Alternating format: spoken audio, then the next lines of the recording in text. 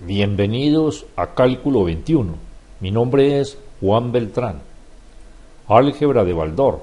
Problemas sobre ecuaciones simultáneas. Solución del problema 193.5.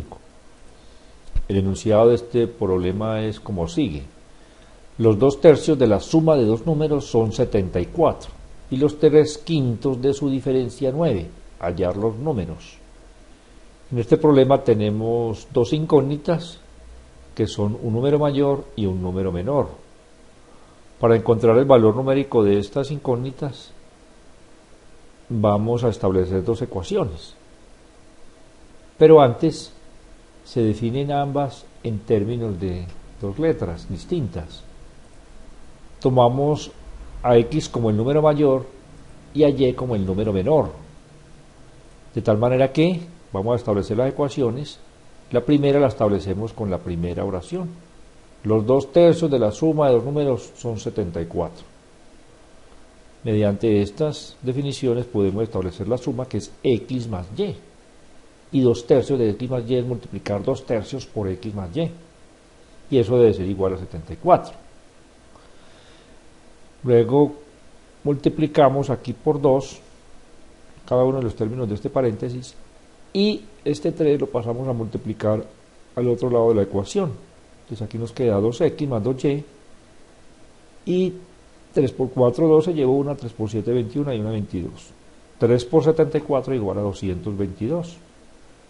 Observamos que aquí podemos dividir ambos o cada uno de los términos de la ecuación entre 2. Nos queda x más y igual a 111. Esta es la primera ecuación. Para la segunda utilizamos esta otra frase. Los tres quintos de su diferencia es 9. La diferencia es x menos y. Al número mayor le restamos el menor. Tres quintos de esa diferencia es 3 quintos por x menos y. Y dice que es 9. Multiplicamos el paréntesis por este 3. O sea, cada uno de los términos dentro del paréntesis por 3 y el 5 lo pasamos a multiplicar al miembro derecho.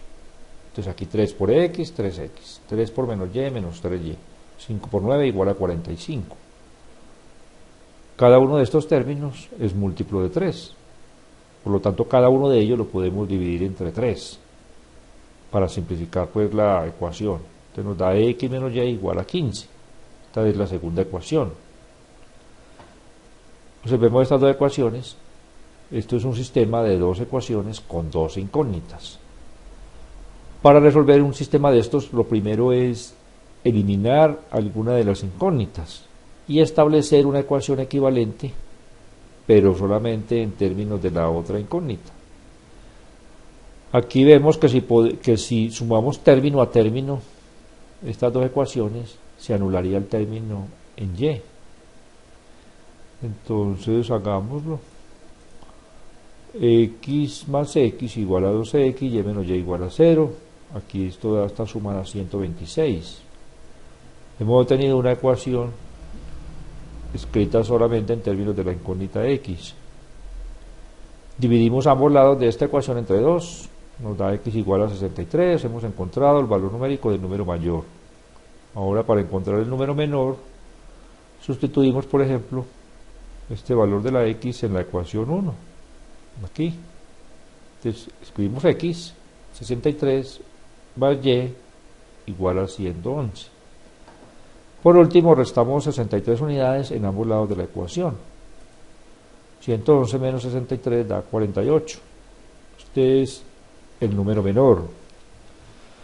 Respuesta. Los números buscados son 63 y 48. Hemos concluido con la solución de este problema. Hasta pronto y ánimo en el esfuerzo por aprender.